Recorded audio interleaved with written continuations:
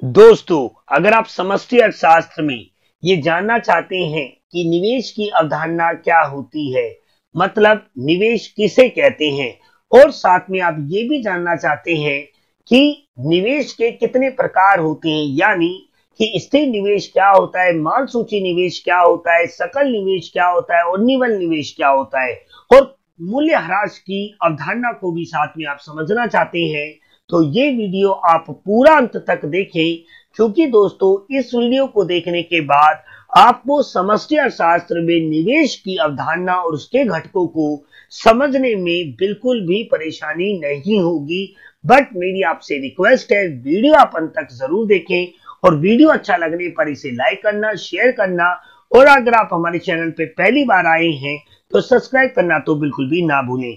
तो चलिए, सबसे पहले हम, मैं आपको बता देता हूँ कि मैं इस पहले चैप्टर में कौन कौन से टॉपिक पढ़ा चुका हूँ और कौन कौन से टॉपिक पढ़ाऊँगा आगे। चल के। तो दोस्तों, देखिए, आर्थिक प्रणाली के समूचे मैंने पहले पार्ट में कवर किया था। दूसरे पार्ट में मैंने अर्थव्यवस्था में उत्पादित वस्तुओं के प्रकार पढ़ाया था, जिसमें अंतिम वस्तु और मध्यवर्ती वस्तुओं के बीच में अंतर बताया था सेकंड पार्ट में।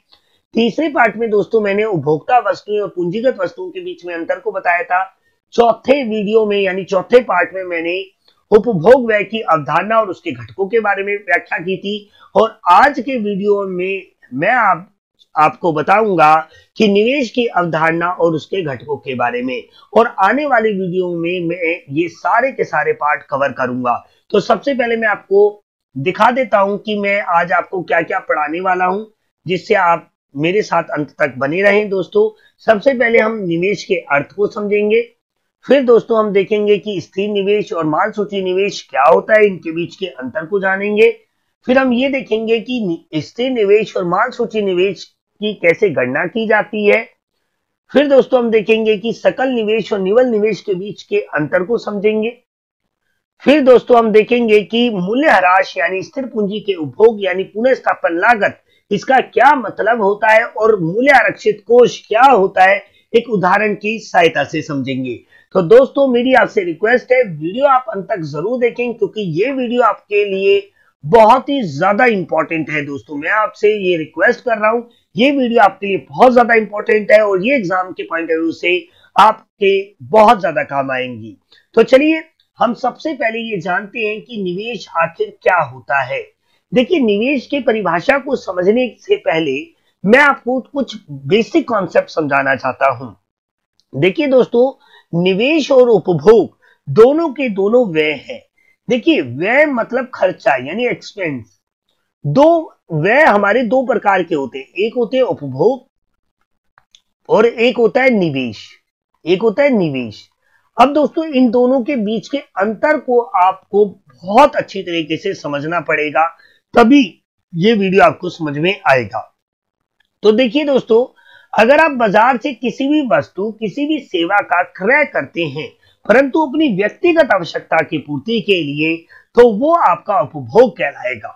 बहुत ही सिंपल सी बात है, मैंने पिछले वीडियो में बहुत ज़्यादा डिटेल में ये बात बताई है। तो अगर एक व्यक्ति बाज़ार से किसी वस्तु या सेवा का क्रय करता है, अपनी व्यक्तिगत आवश्यकता की पूर्ति के लिए तो वह उसका उपभोग व्यय कहलाएगा। क्या कहलाएगा दोस्तों? उपभोग व्यय कहलाएगा। परंतु जब एक व्यक्ति या व्यक्तियों का समूह बाज़ार से किसी भी वस्तु या सेवा का क्रय करता है, अपनी व्यक्तिगत आवश्यकता की पूर्ति के लिए नहीं, अपने व्यापारिक आवश्यकता की पूर्ति के लिए या फिर भविष्य में लाभ कमाने के उद्देश्य के लिए या दोस्तों अपने अंधन में बरकत के लिए, यानी बढ़ाने के लिए तो दोस्तों वो उसका निवेश कहलाएगा। जैसे मैं अगर एक एग्ज़ाम्पल दू, अगर मैं बाज़ार से कोई भी वस्तु खरीदता हूँ जो मेरी व्यक्तिगत आवश्यकता की संतुष्टि करेगी तो वो उपभोग कहलाएगा। परंतु अगर मैं कोई बाज़ार से कोई वस्तु या सेवा खरीदता हूँ, जो मेरी व्यक्तिगत आवश्यकता की तो पूर्ति ना करे, परंतु मेरे व्यापारिक उद्देश्य को पूरा करे तो वो मेरा निवेश कहलाएगा। तो बहुत ही सरल सी बात है कि दोनों के दोनों, उपभोग हो या निवेश हो, दोनों ही खर्चे हैं, परंतु ये हमारी व्यक्तिगत आवश्यकता की पूर्ति करता है और ये हमारी व्यावसायिक आवश्यकता की पूर्ति करता है। तो ये बात तो आपको समझ में आई होगी दोस्तों। अब दोस्तों, यहाँ पे इसके अर्थ को मैंने लिख रखा है कि निवेश के अर्थ को, कि निवेश पूंजी निर्माण की एक प्रक्रिया है। निवेश पूंजी निर्माण की एक प्रक्रिया है अथवा पूंजी के स्टॉक में वृद्धि की एक प्रक्रिया है। तो दोस्तों, इस डेफिनेशन को समझने के लिए आपको ये समझना पड़ेगा कि आखिर ये पूंजी क्या होती है। मैंने आपको बहुत पहले बताई थी कि भाई हमारे पास चार कारक सेवाएँ होती हैं। हमारे पास चार कारक सेवाएँ होती हैं जो कि यही कारक सेवाएँ हमारी क्या कहलाती है? उत्पादन के कारक। उत्पादन के कारक बोलूँ या उत्पादन के सा, साधन बोलूँ एक ही बात है। और हमारे कारक सेवाएँ ही कारक के उत्पाद सॉरी उत्पादन के कारक होते हैं। और ये होते हैं दोस्तों चार। आपको पता है पहली है श्रम दूसरी है पूंजी तीसरी है भूमि और चौथी है उद्गम, यानी इंटरप्राइज तो दोस्तों देखिए, उपभोग और सॉरी श्रम, पूंजी, भूमि और उद्गम, ये चारों के चारों क्या है? कारक सेवाएँ हैं। इन्हीं के माध्यम से इन्हीं चीज़ों का प्रयोग करके हम किसी वस्तु या सेवा का निर्माण करते हैं, यानी उत्पादन के कारक हैं ये। यहाँ पे आप देख सकते हो कि पूंजी लिखा हुआ है।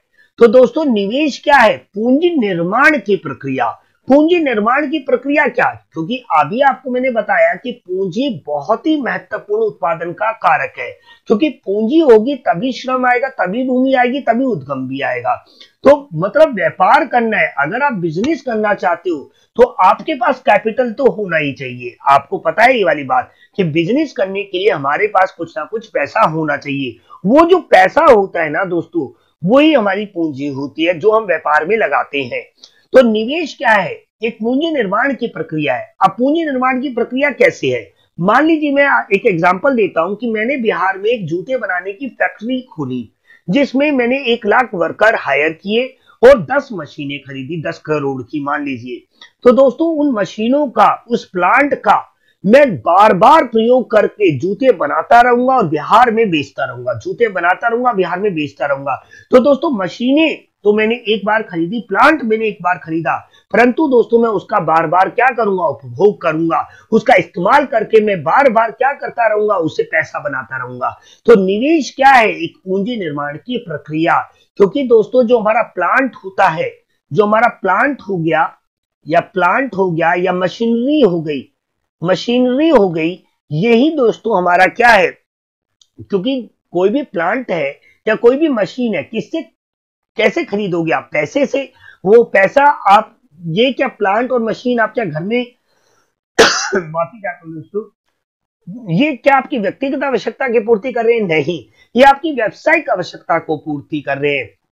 तो नेचुरल सी बात है कि निवेश क्या है? निवेश एक पूंजी निर्माण की प्रक्रिया है। क्योंकि दोस्तों, अगर एक दर्जी है, और दर्जी अगर जो अपनी मशीनें खरीदता है, दुकानें खोलता है तो उन दुकान का और उन उसमें जो मशीनें हैं, उसका वो बार बार उत्पादन प्रक्रिया में प्रयोग करके पैसा बनाता रहेगा।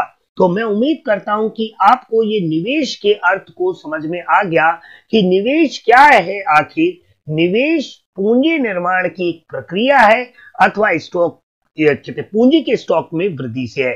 पूंजी का स्टॉक मतलब बड़ी बड़ी मशीनें प्लांट ये जितनी भी चीज़ें जिनका हम बार बार उत्पादन प्रक्रिया में प्रयोग करके हम क्या करते हैं? अपने अपने उत्पादन को बढ़ाते हैं।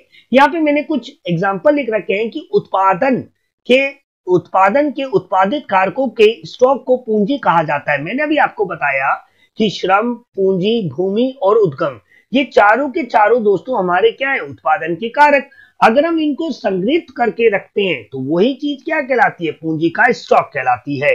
और दोस्तों, ये जो मानव निर्मित, मानव, मानवकृत वस्तुएँ, ये जो मशीन है दोस्तों, ये जो बड़ी बड़ी मशीनें, अत्याधुनिक मशीनें, आपको पता है कि आज के डेट में एक से एक बड़ी बड़ी मशीनें ये किसने बनाई है? मानवों ने बनाई है। और ये जो मानव निर्मित मशीनें है ना, इन्हीं का हम बार बार उत्पादन प्रक्रिया में प्रयोग करके पैसा बनाते रहते हैं। अब यहाँ पे तीसरा पॉइंट मैंने लिखा है कि उत्पादकों की उत्पादन क्षमता में वृद्धि करता है। क्योंकि दोस्तों, जितना एक उत्पादक के पास प्लांट और मशीनरी होगी, वो उतना ही ज़्यादा उत्पादन करेगा। जितना ज़्यादा उत्पादन होगा, उतना ही ज़्यादा वो प्रॉफिट कमाएगा दोस्तों। तो उत्पादन क्षमता में वृद्धि करना यही उद्देश्य होता है निवेश का। तो मैं उम्मीद करता हूँ कि आपको निवेश की अवधारणा तो समझ में आई होगी। अब हम बात करते हैं इसके प्रकारों की। तो देखिए, सबसे पहले आता है कि निवेश तो मैंने आपको बता दिया कि निवेश क्या है? एक पूंजी निर्माण की प्रक्रिया है। यानी पूंजी निर्माण का मतलब प्लांट मशीनरी बड़ी बड़ी मशीनें बड़े बड़े प्लांट लगा के हम उत्पादन प्रक्रिया मतलब वस्तु तथा सेवाओं का निर्माण करते हैं, उनको बेचते हैं मार्केट में और उनसे प्रॉफिट कमाते हैं। तो निवेश तो आपको ये बात समझ में आ गई होगी।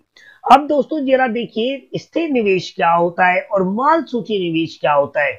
और इन दोनों के बीच के अंतर को समझना तो बहुत ही ज़्यादा ज़रूरी है। तो सबसे पहले हम बात करते हैं स्थिर निवेश की। देखिए दोस्तों स्थिर निवेश का मतलब होता है स्थिर निवेश से अभिप्राय एक लेखा वर्ष की अवधि में उत्पादकों द्वारा स्थिर संपत्तियों, स्थिर परिसंपत्तियों के स्टॉक में वृद्धि करना है। जैसे कि प्लांट और मशीनरी जैसे कि प्लांट और मशीनरी तो दोस्तों, बहुत ही सिंपल सी बात।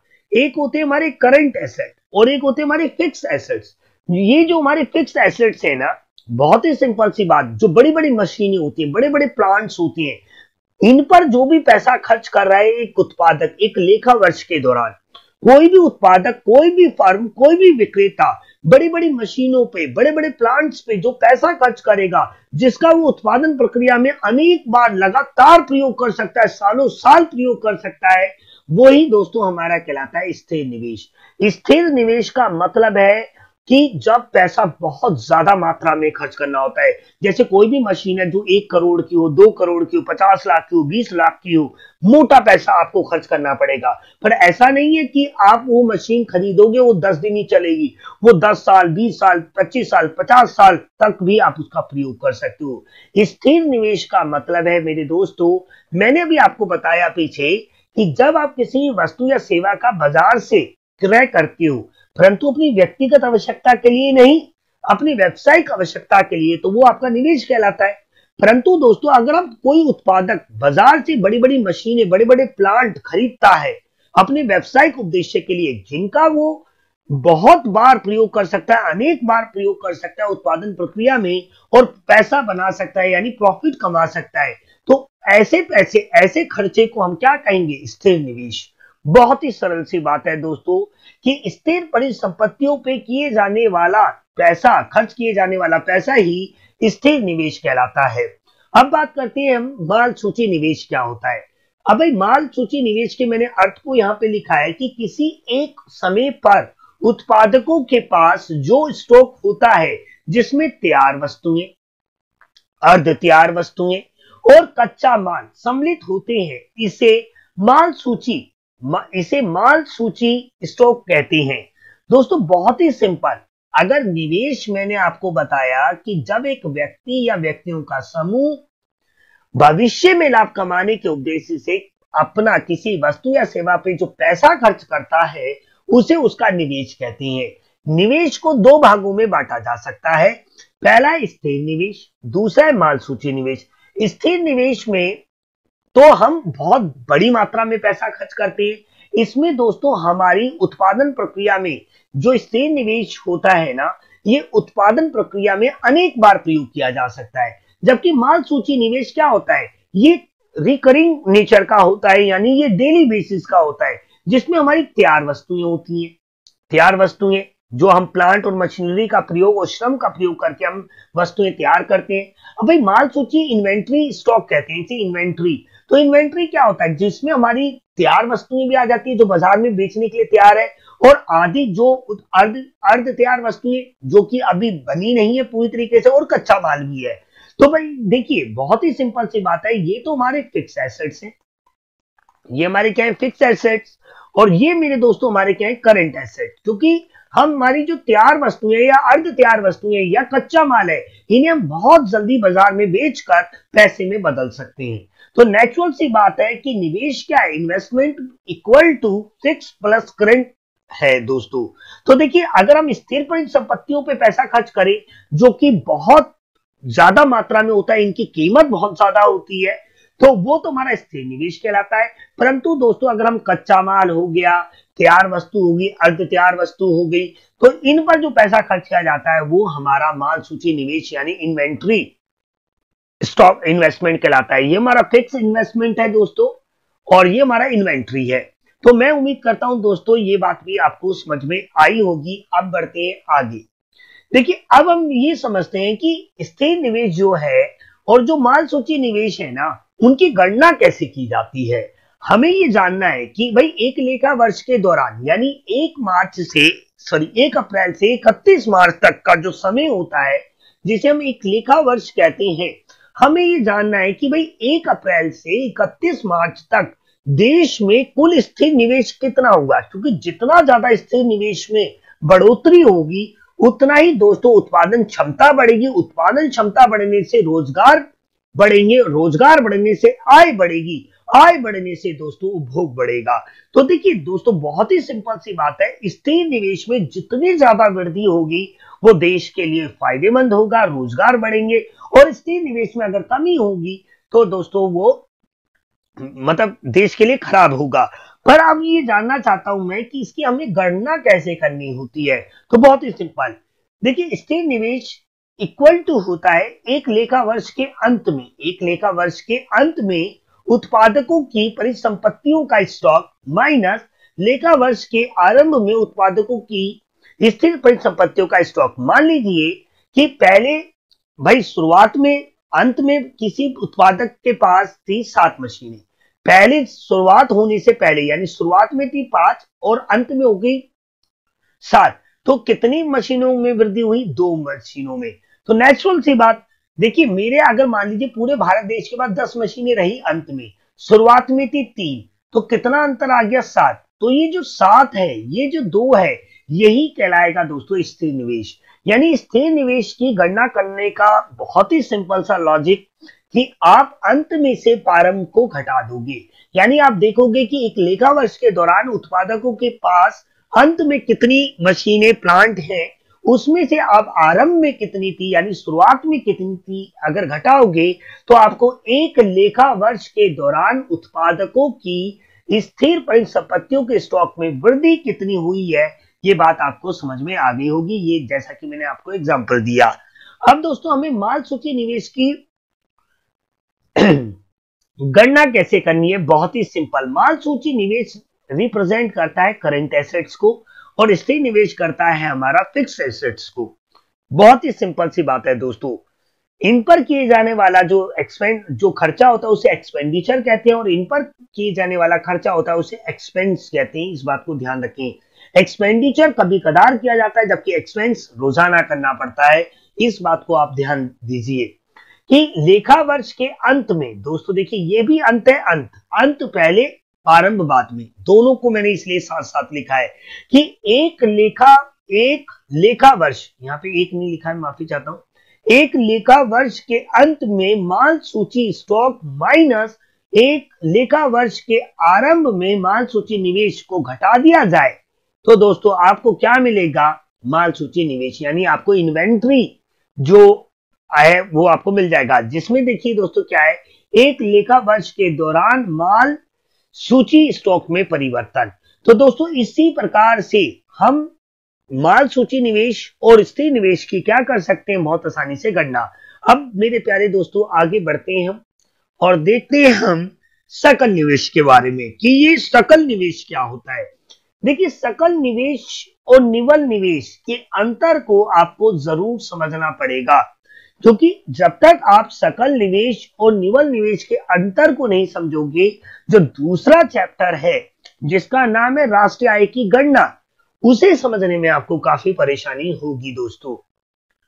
तो देखिए, अर्थ लिख रखा है मैंने सबसे पहले सकल निवेश के बारे में, कि वर्ष के दौरान स्थिर परिसंपत्तियों तथा माल सूची स्टॉक को खरीदने के लिए किया गया खर्च। मैंने आपको बता ही दिया निवेश भी एक तरीके का खर्च है, उपभोग भी एक तरीके का खर्च है, पर उपभोग एक ऐसा खर्च है जो व्यक्तिगत आवश्यकता की पूर्ति करता है, जबकि निवेश एक ऐसा खर्चा है जो हमारी व्यावसायिक आवश्यकताओं की पूर्ति करता है। व्यावसायिक उद्देश्य होता है इसका, पैसा बनाना उद्देश्य होता है दोस्तों इसका।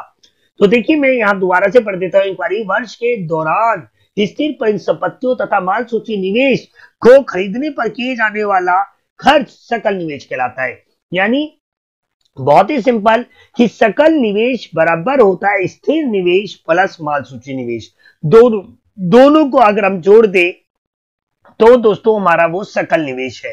अब दोस्तों सकल निवेश जितना ज़्यादा होगा, उतना ही देश के लिए फ़ायदेमंद होता है, और सकल निवेश जितना कम होगा, उतना ही देश के लिए नुकसानदेह होता है। क्योंकि तो दोस्तों निवेश में वृद्धि देश के आर्थिक विकास और आर्थिक समृद्धि की दर को बढ़ने का सूचक होता है। दोस्तों, अगर एक देश की अर्थव्यवस्था में निवेश नहीं होगा तो उस देश की अर्थव्यवस्था पूरी तरीके से ऊंधे मुँह गिर जाएगी। दोस्तों, निवेश एक तरीके का ऑक्सीजन है, जो एक अर्थव्यवस्था को चाहिए ही चाहिए। अभी आप वर्तमान समय में मोदी सरकार की नीतियों की वजह से ये जो सकल निवेश है और निवन निवेश है, लगातार ऊंधे मुँह गिर रहा है, जिसकी वजह से स्टॉक मार्केट ऊंधे मुँह गिरी हुई है। दोस्तों, जैसा कि आप देख रहे हैं हमारे देश में बहुत बुरा हाल हो रखा है इस समय। हमारा देश बहुत बड़ी आर्थिक मंदी से गुजर रहा है, जिसका सबसे बड़ा कारण यही है क्योंकि हमारे सकल निवेश, यानी स्थिर निवेश और माल सूची निवेश में बहुत ज़्यादा कमी आ गई है। दोस्तों, कमी बहुत तरीके से देश की अर्थव्यवस्था को प्रभावित करती है, जिसकी वजह से रोज़गार में बहुत ज़्यादा कमी आ जाती है दोस्तों। अब यहाँ पे हम बात करती हैं निवल निवेश की, कि भाई निवल निवेश क्या होता है?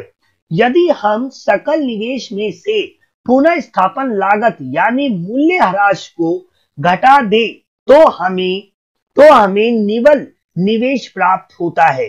दोस्तों, इसको समझने के लिए मैं आपको थोड़ी सा कॉन्सेप्ट समझाना चाहता हूँ आपको मैंने अभी बताया कि स्थिर निवेश में हम बड़ी बड़ी मशीनें बड़े बड़े प्लांट खरीदते हैं और वहाँ पे लगाते हैं और उनका अनेक वर्षों तक उत्पादन प्रक्रिया में प्रयोग करके मोटा पैसा बनाते रहते हैं।